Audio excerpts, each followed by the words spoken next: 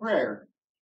Heavenly Father, we praise and thank you for the day that you've given to us and the ability to gather together, hear your word, and uh, have our, our faith strengthened so that we can live as people of hope in this dark world.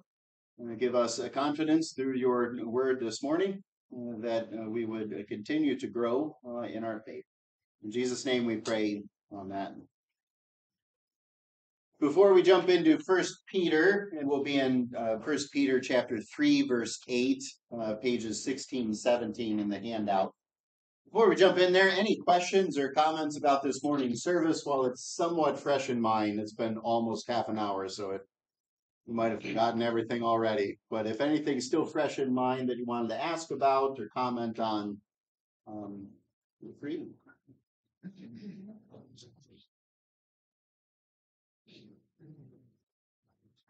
It was good to be reminded that our struggle is not against flesh and blood.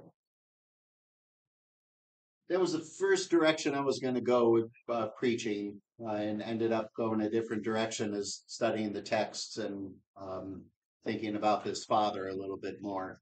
Um, but you know, our struggle is not against flesh and blood. Uh, so the the people that you see around you are not really. They seem like the the enemy usually, but they're not really the enemy. Um, the devil is the enemy.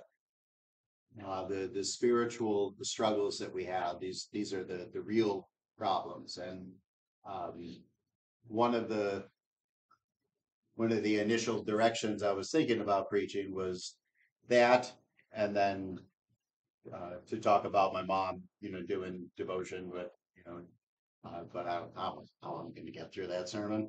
Um, so we'll we'll try a different direction um, but you know, to put on the full armor of God, well, what does that look like on a daily basis? Why don't you open up the story story Bible with your kids? I was What do you thinking that this? would be a good Halloween costume, but No, you know what I Not a mean? bad one, yeah, yeah, not a bad one. Is there any part, Pastor, you know, about what the man first said, and then, like you said, what Jesus said in return, it's kind of like, wow. You You know, all you dismissed guys, him. all you people wanted, you know, You but then the go now. guy replied again, was there any part of the first part of what Jesus said to kind of test him a little bit? And then, you know, he didn't just, you know, kind of drop his head and turn away and why he, you know, replied again to Jesus, and he, okay, your son lives now. Was there any part of that? I don't know. Yeah, so there, there's a number of times when Jesus is, seems pretty cold and hard, Right. Uh, and there are times when he says things and people just turn away and walk away. You know, let let let the let the dead bury their own dead. You know, the, the Son of Man has no place to, to rest his head. You know, foxes have homes, birds have homes, but not the Son of Man. Um, and there are people who say, you know, I want to follow you. He talks like that, and uh, Mhm. then there's the the woman whose Right. daughter was uh, possessed by a demon, and he doesn't even like address her at first, and then he implies that she's a dog. Right. Uh, She comes back with a crumb. but yeah, she and she she holds on to that. So with that, there's a little bit more that Jesus is offering her by calling her a dog and using the word not the mangy mutt that's in the alley, but the dog that sits at your lap and is under your table and is going to get fed. There, Jesus is clearly like, here's your opening. Here you go. Um, but with this man, it, that's a little less clear than than what as he says, you people, unless you people see signs and wonders, you'll never believe. Um, But it seemed like he wasn't discouraged by that statement. yeah, and and there's there's some things that. So this man comes from Capernaum, and he goes to Cana. Did that mean Roman was it royal official or not necessarily? It seems that it is probably connected to to that, so probably a Gentile. Um, but that that's a little unclear. I mean, you have uh, Gentile tax collectors, but you got Matthew, a Jewish tax collector. And so there's not enough that we know.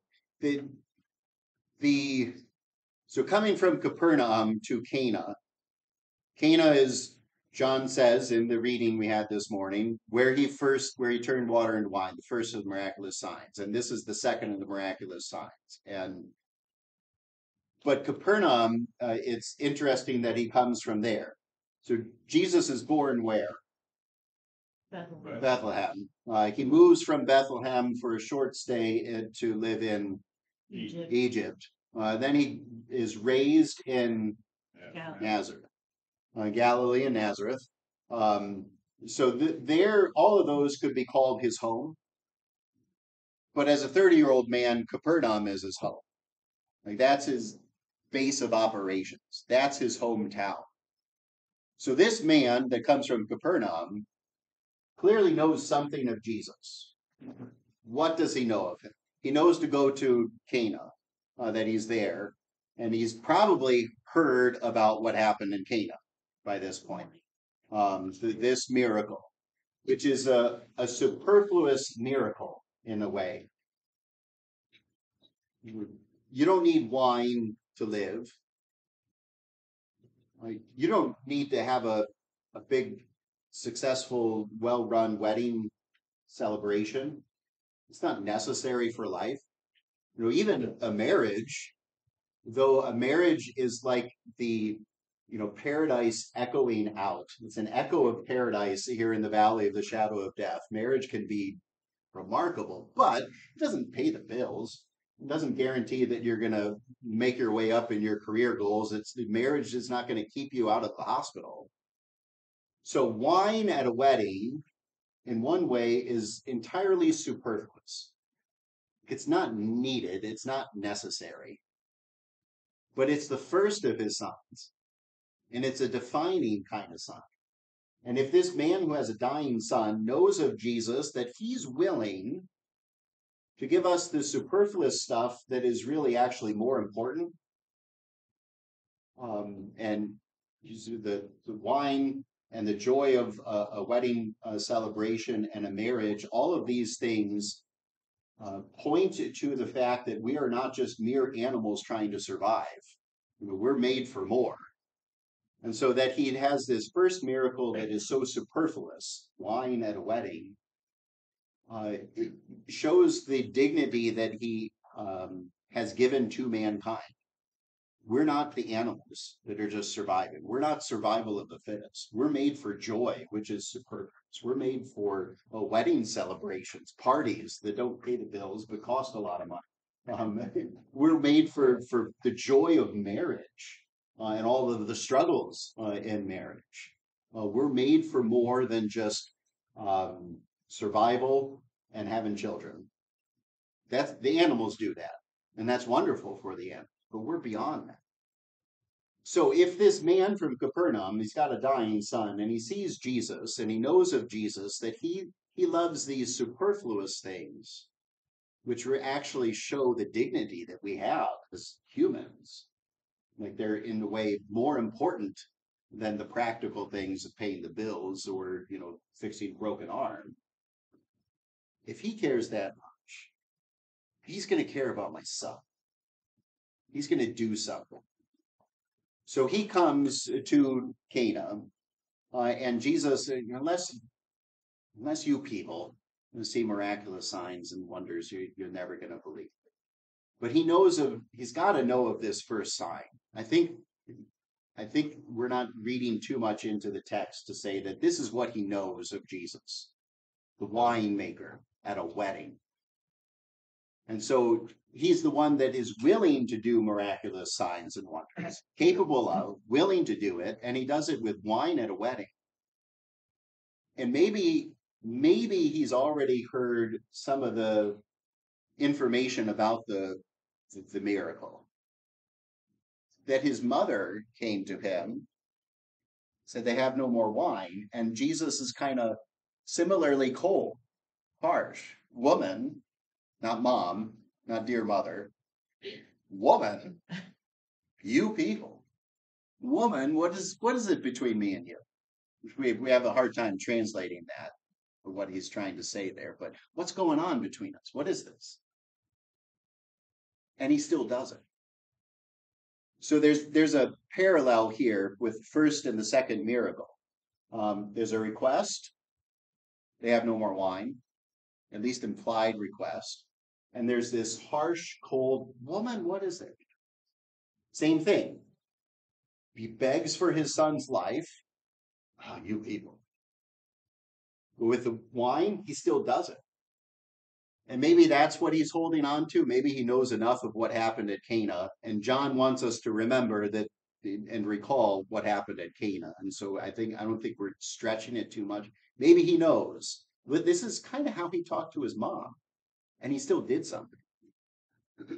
And how he's kind of harsh with me, you people. I think he's probably going to still do something. I'm not 100% on that, which is that's one of the directions I was going. And then since I wasn't 100%, well, maybe I won't go that direction. But there's something there's something to the connection, the parallel between the first miracle and the second miracle. The request, a harsh response from Jesus, and he still does something. He still changes the water into wine. He still heals the son, and maybe that's what the this royal official is holding on to. That light bulb that came on would have been amazing, right, when they told me. Oh yeah, seventh hour. I mean, he, you know, he's like, man, that's right, when Jesus. seventh hour, which is really interesting. They, I mean, they don't have watches. They talk about time differently. They would usually use a more general term.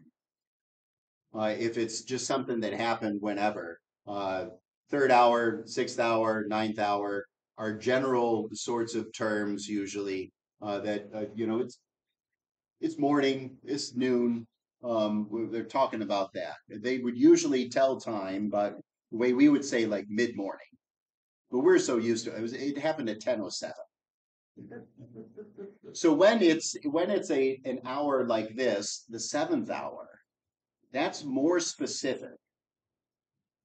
It- because they usually they probably would have said, well, it's about the sixth hour. But they they go a little more specific there and he know he remembers oh this wasn't just noon. This is just a it was about an hour after noon. You know this is seventh hour. And so it clicks it boom and now uh it, there's the clarity that he gets from uh jesus said your son lives at about the seventh hour. And that's when the fever left him. The other really cool thing in this text that the I it was going to be like a 40 minute sermon. This is why I didn't go this direction. Was what the man is called throughout the text. At the beginning of the reading, he's called the royal official. A little later, he's only called the man. Our translation there, when he's talking to Jesus, uses the word royal official again, but not the original text. It's just the man. So it transitions from the royal official at the beginning uh, that as he starts the first stage of the journey. When he's in this interaction with Jesus, he's stripped of his royal um, title. He's just the man. What was he called at the end when he gets to go back to his son? The father. This is a neat, neat thing that happens there. Here, here is this someone who's important and he goes in front of Jesus, uh, unless you people. Now he's like, no, he's just a man. But with this word of life and this promise, uh, now now he's what he would want to be remembered as, you know, as at his funeral, right? Uh, like, who cares about my royal official title? He's a father. And the struggle with Jesus the struggle with life and death, and then coming to Jesus and having his words of rebuke and difficult to handle words of life and promise. You know, what does he even mean? Your son lives. Through that struggle, that's how he makes us who we're we're to be. Through the suffering. So suffering produces patient endurance, character, hope. This man was made what he was made to be father um, throughout this whole difficult journey that he's going uh, through. Uh, is it really? I I don't know if that's reading too much into the change from title, royal official, man, and then father. But it's kind of a unique thing that there's three different ways that he's referred to in a text. Uh, whereas usually it's the Pharisees, the Pharisees, the Pharisees, or just they. I think there's something to this that from royal official at the beginning, just a man, and then at the end he gets to be father, run home to his son who's alive. Um, this is a fun text. the, the neat thing that uh, we got to hear this morning. So go home and read it again uh, with some of those things in mind that we, we just wrestled with and talked about. Uh, the final, th- yeah, Oh, if you're still. no, go ahead. I was thinking about what Carrie said, you know, I, Mm. the same thing. But I did question at the end of that, the spiritual forces of evil in the heavenly realms, that I do quite about the evil to heaven. in the heavenly realms, yeah, isn't everything good in heaven? Yeah. Pretentious. Yeah, that, so that, that does deserve some, some attention. Uh, what, what does that mean? So when he is talking there, I'm gonna find this here and just read it. Um, Where should we start? So in verse twelve, for our struggle is not against flesh and blood, but against the rulers, against the authorities, against the powers of this dark world, and against the spiritual forces of evil in the heavenly realms. So rulers, authorities, powers of this dark world, against the spiritual forces of evil in the heavenly realms. The part of the debate is does that include human beings and devil and demons, or just devil and demons? Um, and I, I, I would say both. So there are, I mean, there are rulers and authorities in this world that are elected or that, um, you know, rise to power and become emperor or whatever that would be included, I, I think. Um, but uh, I'm not going to. It's clearly talking about the devil is involved here. There's spiritual stuff going on.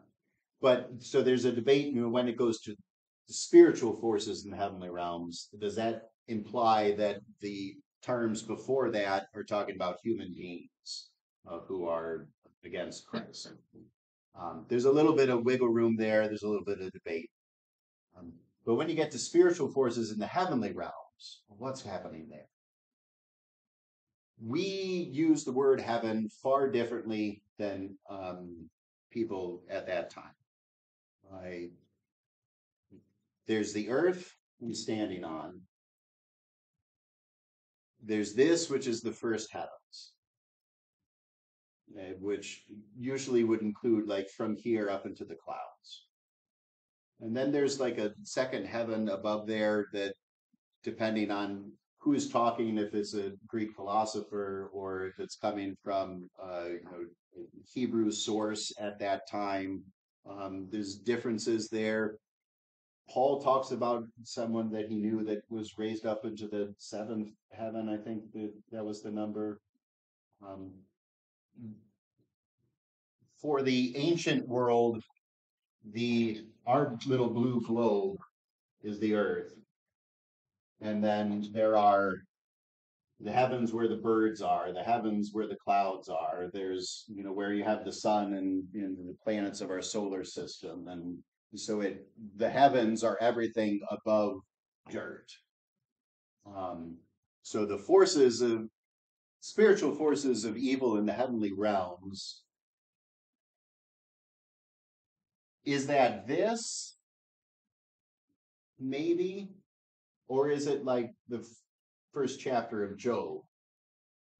Where there in the throne room of heaven there's this evil one that gets called before and they have this conversation and god says well what about my man job? Uh, and the devil wow he's rich. Of course he likes it and he's helping we got kids. Of course he likes it take him away. Stubborn stubborn evil one that's there, we could say in the heavenly realms. Um,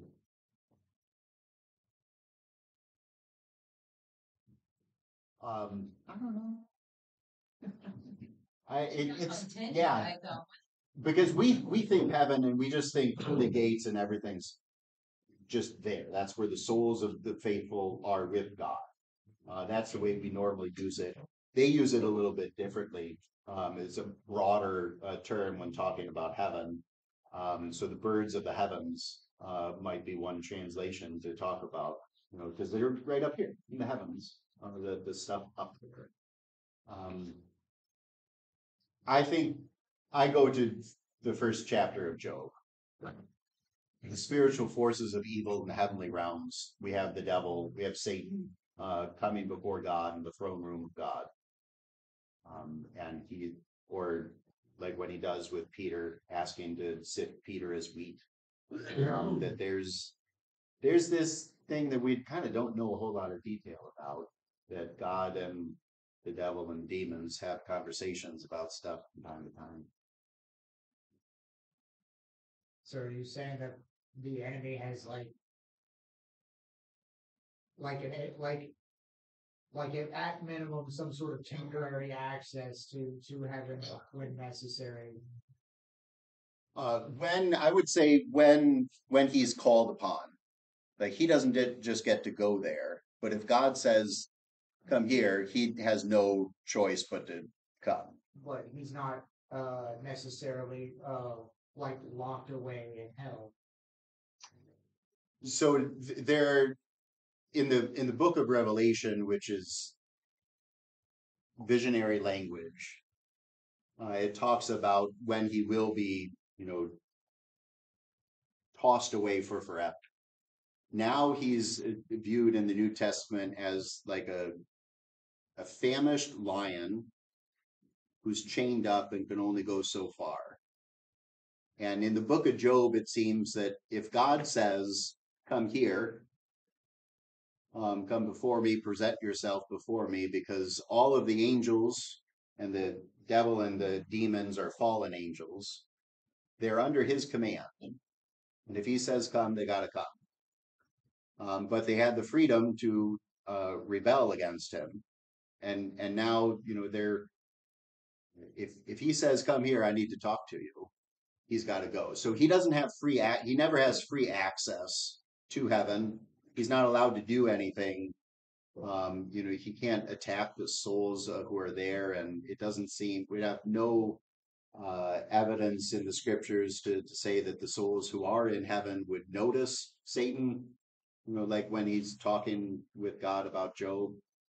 Um, but if if God's going to talk to him, he's going to the devil's got to show up. He's chained um, in that way.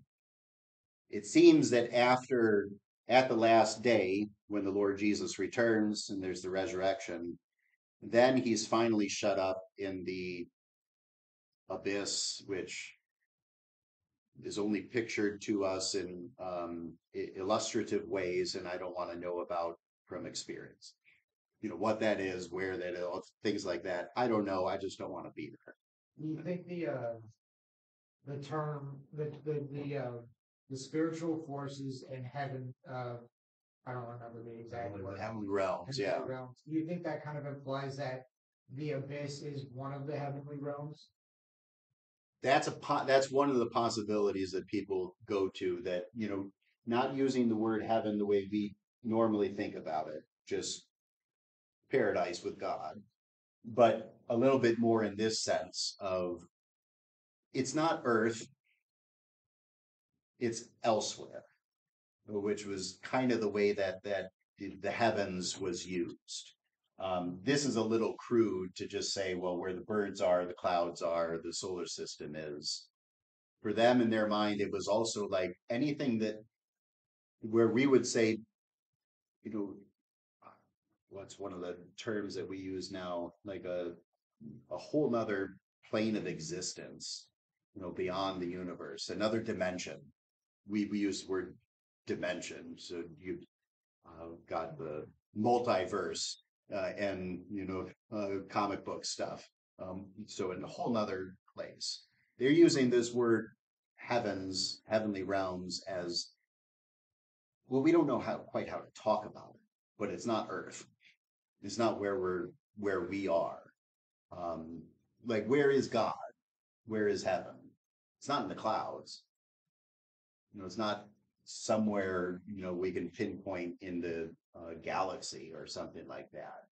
God's beyond time, uh, and he's beyond space and matter.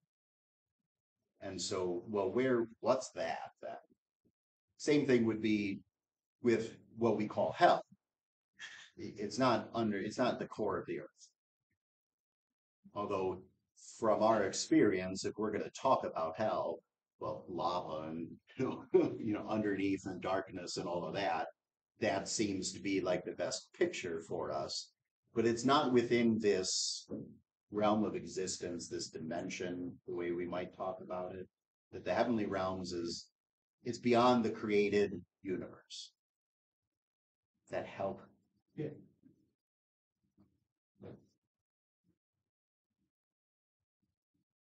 There, there's a lot about that we don't know.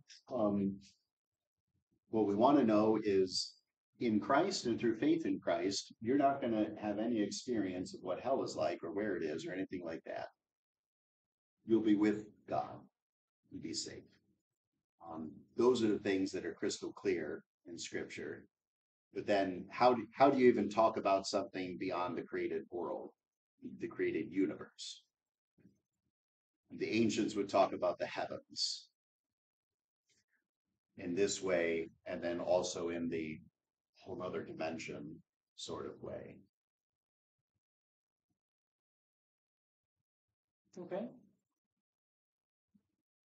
Anything else?